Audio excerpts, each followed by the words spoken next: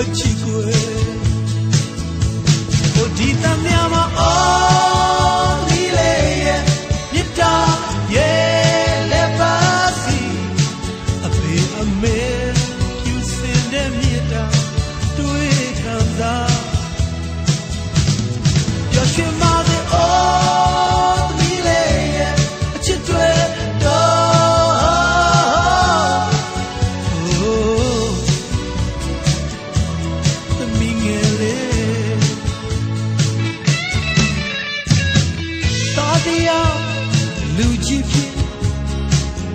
ရွာမှာသမီးကလေးတယောက်ရလာပြီ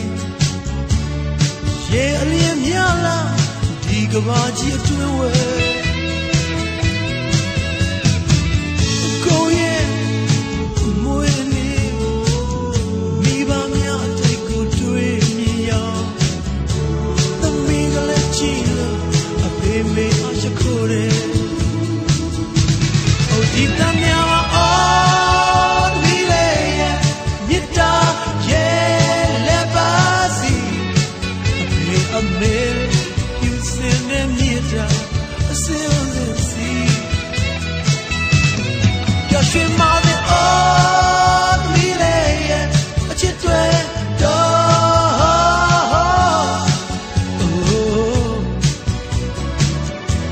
သမီးငယ်လေး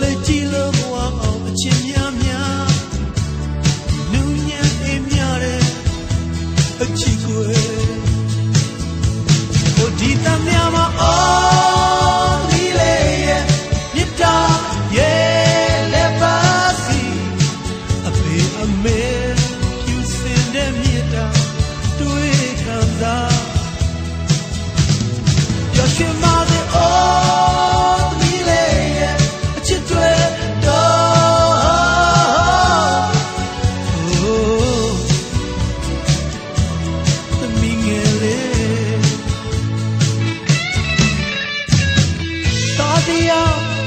လူကြီးဖြစ်ကဘာမသမီးကလေးတရားရလာပြီရေအလင်းမြလာဒီကဘာကြီးအတွင်းဝဲ